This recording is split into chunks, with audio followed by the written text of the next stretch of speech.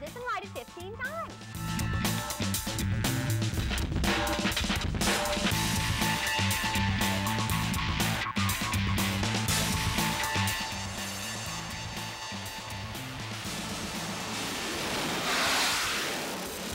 Welcome to the coolest, hippest half hour of fun on TV.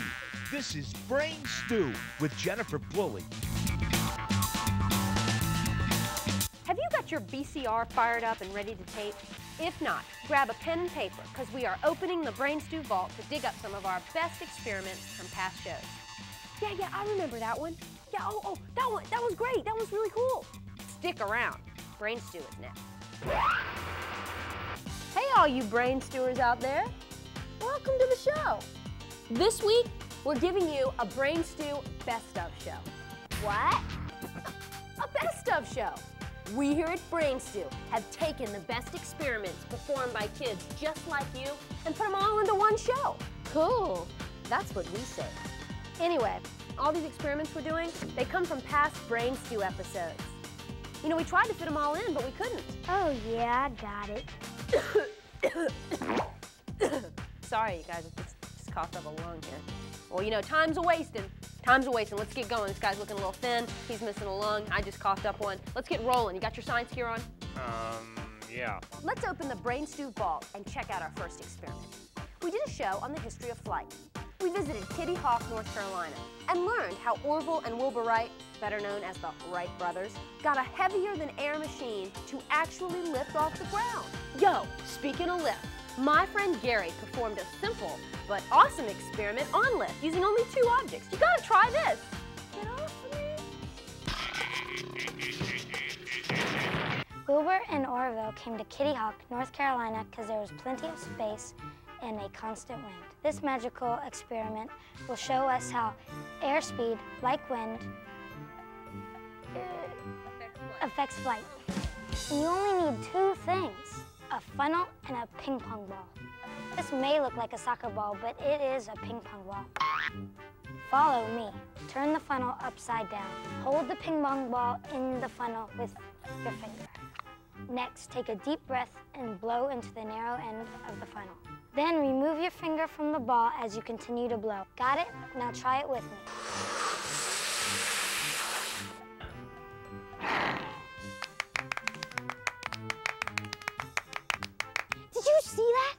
Ball floated inside the funnel even though I blew out. Wow. Here's why the ball didn't fall out. The faster the air passes by the ball, the less pressure is put on the ball. The air pressure above the ball is less than the pressure under it. So the ball is held up by air. The pressure of moving air explains the upward lift on the wings of an aircraft. When the air flows faster over the top of the wing than below, there is an upward push called lift. That's how the Wright brothers were able to get their planes off the ground. Hey, thanks, Gary, for that awesome experiment. Gary, you're looking a little thin these days. You know, maybe you need a lung after all that breathing.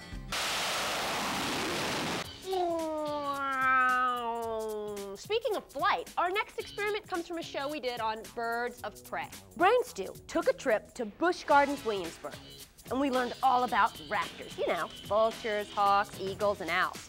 Check out this experiment, performed by my friend Angela, and find out how animals hide from birds of prey. How does the color of animals protect them from birds of prey? You know, like hawks, falcons, and vultures. I have no idea. Let's find out. Here's the deal.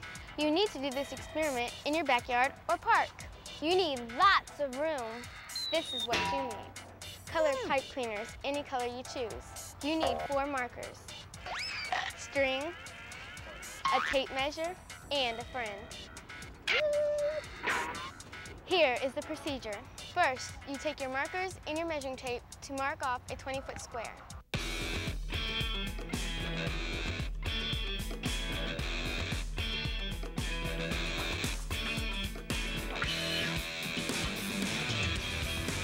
Next, you take your string and tie it around each of the markers so you can make a large box.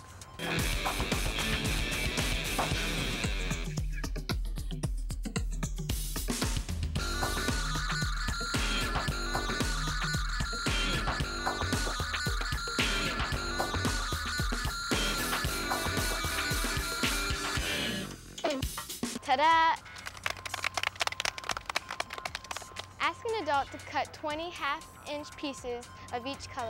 Next, I'm gonna take each of these pipe cleaners and place them evenly as I can in the box.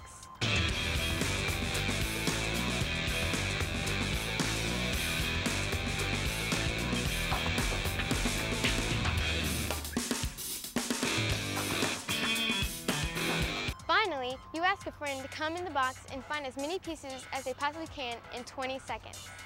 Go!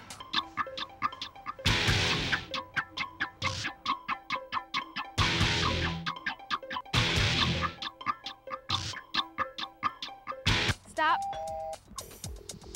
Good job. Can I have those? As you can see, Lonnie didn't find all the colored pipe cleaners. Some colors are easier to find, others are very difficult. Why'd this happen? If the grass is the same shade of green as the color pieces, then it is difficult to tell the difference between the two. Colors that look alike were harder to find. Some of the darker color pieces blend in with the shadows of the grass. It is the same color blending that protects animals from predators like vultures, hawks, and falcons. For example, a green snake blends in very well on a lawn of green grass. This makes it difficult for birds of prey like the hawk to spot it. Woo! Way to go, Angela! Yeah, go girl! She's such a super girl. Hey, ever visited a swamp? Brain Stew did. We visited the Great Dismal Swamp, and our brains grew as we were fed information on the unique ecosystem of a swamp and the different animals and plants that live in a swamp. Yo! Marie tried this experiment and got some colorful results. Why don't you?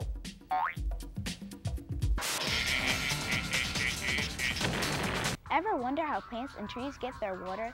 Let's do this experiment and find out. Here's what you need.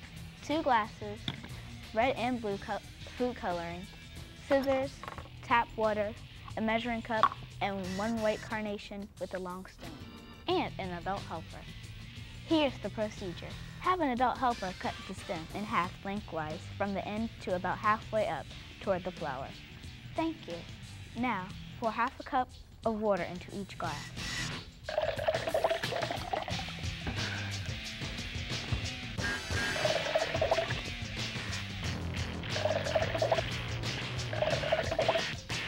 Now add enough food coloring to make each color in each glass a deep color.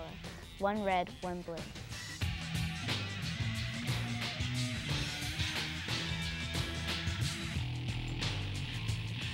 Now, put one stem in the blue water and the other in the red.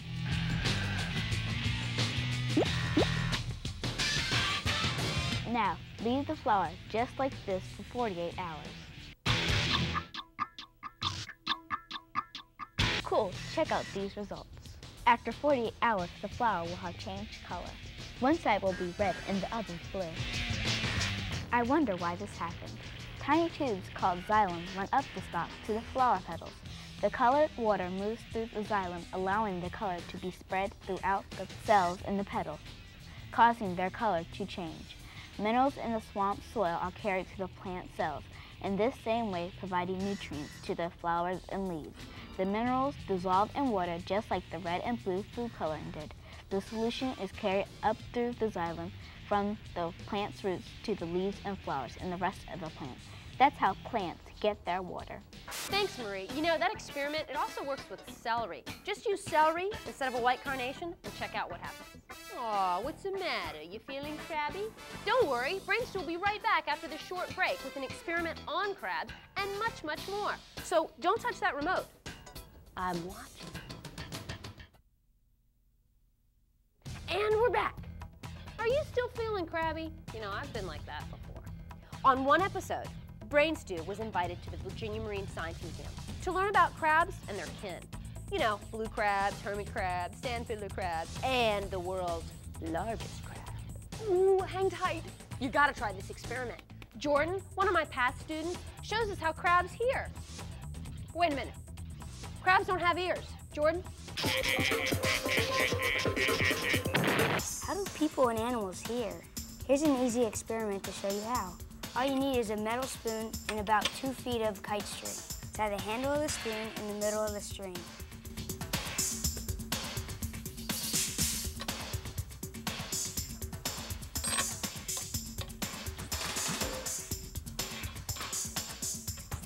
Wrap the ends of the string around both of your index fingers. Like this.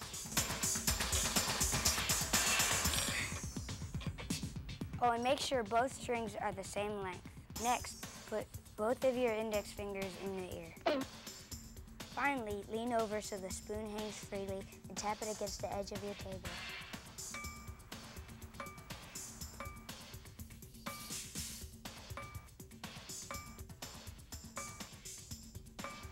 Wow, that sounds like a church bell. Hey, how did that happen? Let me tell you, the metal in the spoon starts to vibrate when struck.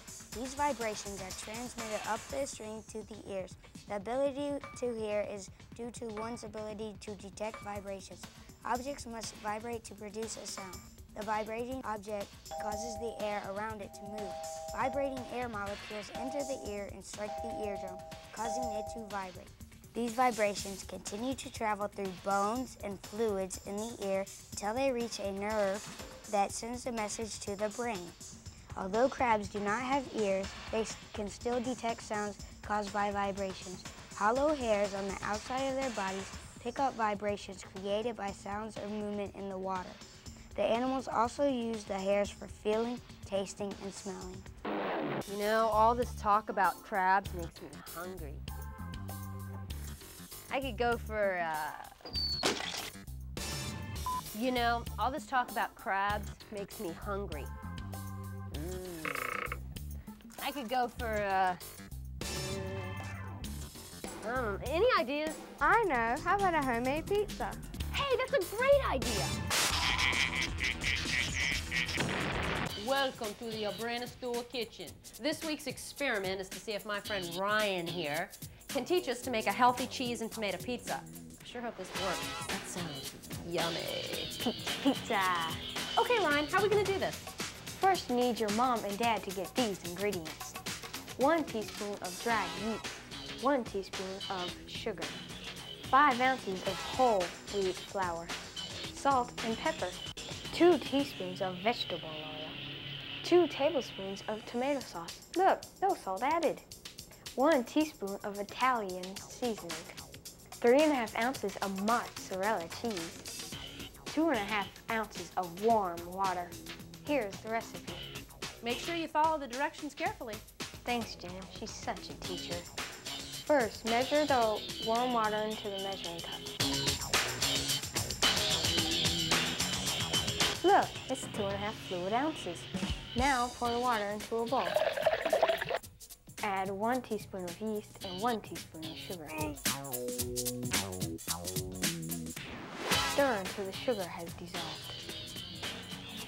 Now leave a cup in a warm place for 15 minutes, just until the mixture gets frothy. I'm going to put mine outside. I don't care where you put yours as long as it's warm. Put five ounces of whole wheat flour into a large bowl. Add a little salt and mix it together.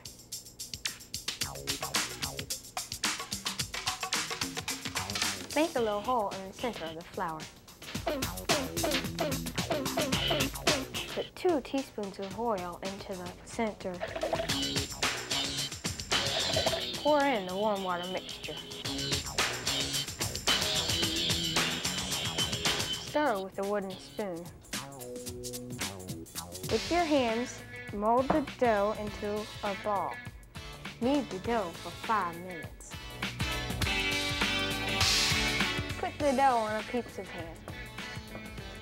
Roll out the dough. Thanks. You're welcome. Let the dough rise in a warm place for about 30 minutes. Again, I'm going to take mine outside.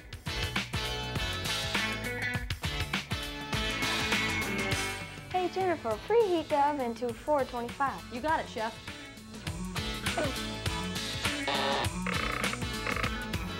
Put two tablespoons of tomato sauce onto the pizza. And remember, no salt added. I'm gonna put a little more on because I like a lot of sauce.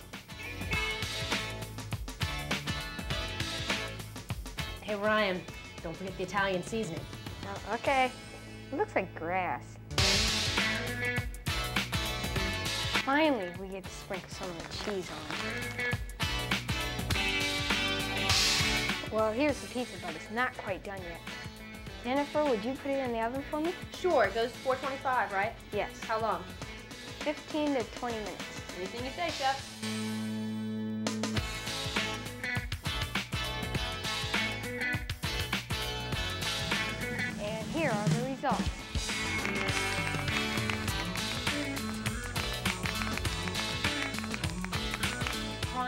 Thank you so much for making us a healthful snack. I appreciate it. Dr. Babs would be very happy. She sure would be. You want to eat?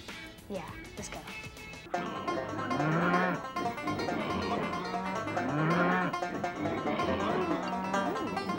Oh, Ryan, you did an awesome job. This pizza is great. Well, you're, you're gonna stick around and help me clean up the kitchen, right? Because we got a lot of stuff to do. There's flour everywhere. All right, Ryan? Yummy. Now I'm full. Ryan. That experiment came from our show on health and fitness. We filled our stomach and our brain with food and fitness facts. So next time you reach for a cheese puff, remember, how nutritious is it really? Better go for that healthy pizza instead. Speaking of heart healthy food, did you know that your heart, like your body, needs exercise in order to stay in shape? Brain Stew talked to a cardiologist who pumped our brain with information on our heart and how it works. Know what happens to your heart when you exercise? You got me. Well, then check out this experiment with my friend Jonathan. He and his heart are in good shape, unlike uh, Mr. Bones here. How do you measure your heart rate? Let's find out. You a watch with a second hand, paper and pencil, or a blackboard. To find your heart rate, put these two fingers on the right side of your neck, or the left side of your wrist. Count the number of heartbeats you feel in one minute. After a minute, my heart beat 84 times. Now they're gonna make me exercise. Okay.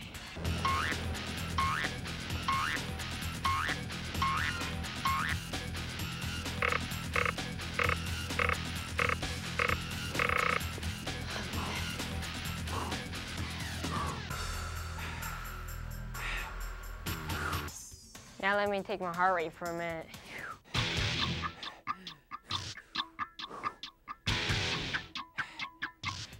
After exercising, my heart beat 119 times. Always write, I always write like that. Here are the results. As you can see, my heartbeat was slower when I was sitting and much faster when I was exercising. Why does this happen? The number of times your heart beats in one minute is called your heart rate. Adults have an average heart rate about 70 beats per minute while sitting quietly. Children usually have a faster rate. The rate of both children and adults increases with activity. Strenuous activities such as running can cause the rate to be 150 times a minute. Each time the heart contracts, blood is forced through the arteries. The blood moves at a rhythmic rate, causing the arteries to pulsate or throb. The beat you feel with your fingertips is called your pulse. All blood vessels have this throbbing motion. So what are you waiting for? Go bug your parents and try some of these experiments at home. Why am I dressed like this? Up next, grab your hat, gloves, scarf, winter coat, because we're going to Antarctica. What? Yep, Antarctica. Plus, we'll see how the sun helps us keep time. I'll be back in a minute. Hey, we're back with the best of Brain Stew's experiments. Our next experiment comes from a show on navigation. We visited a United States Coast Guard station and filled our brain with how ships and aircraft navigate. I actually took a trip on a helicopter and witnessed a search and rescue mission. It was really cool. Anyway, one of my past students performed a cool experiment on navigation with the help of the sun. You gotta try this. Let's see how a clock can be used as a compass. First, we need to make a clock. So this is what you need. A piece of paper, a ruler, a pair of scissors, a needle, a magic marker, a compass, and a piece of cardboard. Oh yeah, you also need a watch. Thanks. First, cut a 5-inch diameter circle from the piece of paper. I've already drawn my circle. Cut it out.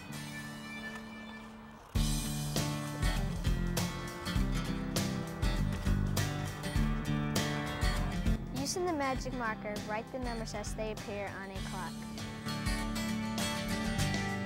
Ta-da! Remember that cardboard? Well, put your clock on it. Take your pen and stick it in the center of your clock. Oh, and don't poke yourself.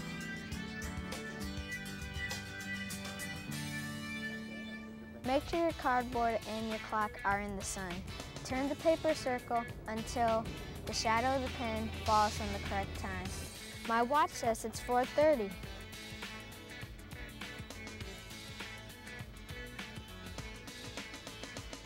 Oh, by the way, this experiment doesn't work if it's daylight saving time. Here are the results.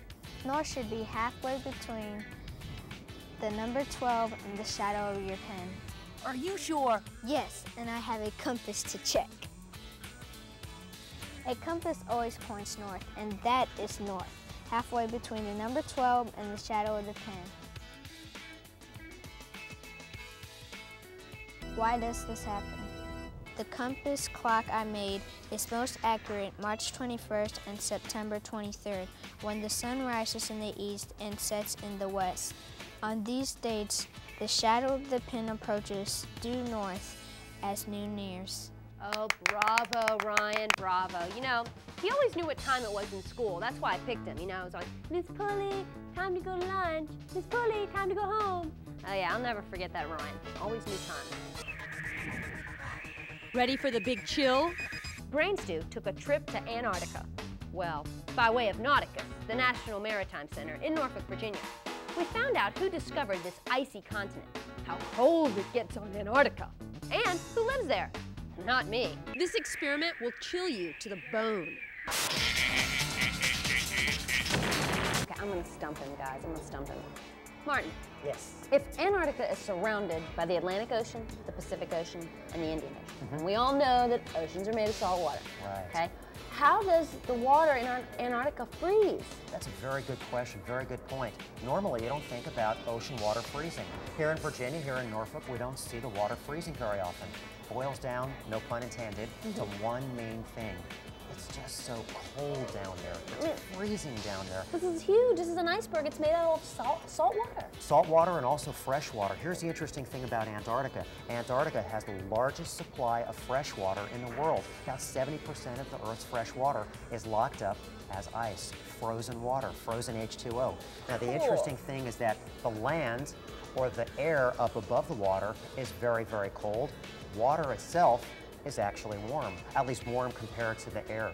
And I can show you this with an experiment. All right. So Jen, I'm going to go ahead and very carefully light this candle. That's why I have you here, to make sure that I'm using the matches properly. Okay. And this is going to show us now that air is warmer than water. Exactly. Uh, no, no, water is warmer than air. Right, right. Water is warmer than air, and also the water is a lot better at absorbing heat or holding heat, which is why it is warmer. Okay. So the first part of the experiment is going to be using my favorite toy in the whole wide world, which is a balloon.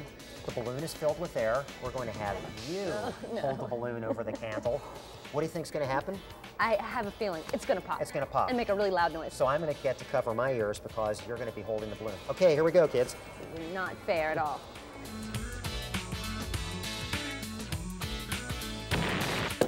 All right. So it did exactly what we expected it to do. Sure. Now for Because the there was air in it. There was air in it, and air is not very good at absorbing or holding heat. Okay. So our balloon ended up popping. We're going to do something a little bit different now. We'll go ahead and relight the candle. Nice job. Thank you very much. This time we're going to use a water balloon. Can I beam that at the director? Yeah, Okay. let's do it. Now, because you're going to be holding this water balloon over the candle, Do I need a, um, a we, raincoat we assume that it's going to pop. So in case it does, Jen, I'm going to move back a little bit. Okay, go ahead. He's so nice. Thank you, thank you. Hey, I hope I need a wardrobe, change of clothes. Okay, just hold it right over here. Mm -hmm. And let's see if it pops. Go ahead. Hold it a little lower. Lower? go ahead and actually touch that flame. No. And it should pop, and it should splash all over the place. Keep going. Oh. Nothing. Nothing at all. Unlike the air, water is very good at absorbing or holding heat. And you can see it's not popped on the bottom at all. So just like in the real world, the ocean in Antarctica is warmer than the air that's around it. Pretty cool, huh? Cool, Martin, thanks. Sure, not a problem. Oh, and you didn't get soaked at all. I'm glad because I would have had to have a word with you if that would have happened. Thanks, Martin. You're the man. You know, it's always fun to open up the Brain Stew Vault and check out some of our best experiments. Hey, that's my line. Of course, you know, I think they're all great. Anyway, keep that big brain of yours stewing and try some of those experiments at home. They're really fun. I'll see you next time. Bye.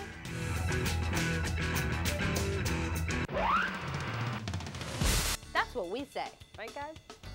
Anyway, all these experiments come from all.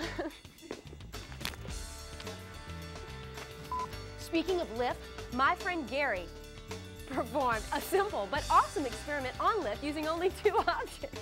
You gotta try this. Fresh? Speaking of lift, my friend Gary performed an awesome but simple experiment on lift.